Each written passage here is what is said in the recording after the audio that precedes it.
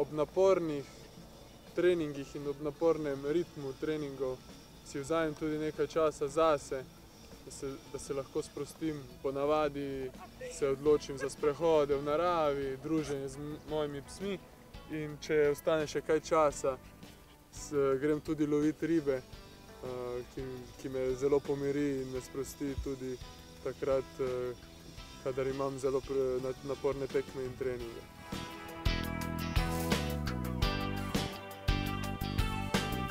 Mislim, da je čas, da grem trenirati.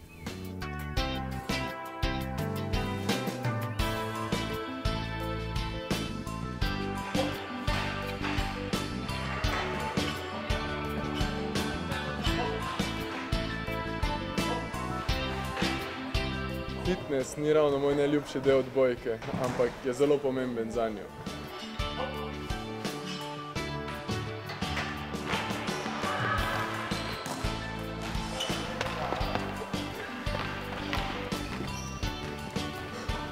Ti šprinti so zelo naporni, ampak tudi to je en del odbojke, ki jo imam zelo rad, ker je ekipna, ker ni kontakta in ker je zelo atraktiven šport tudi za gledalce.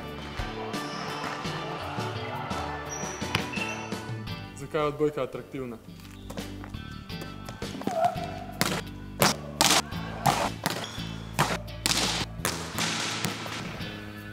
Zato.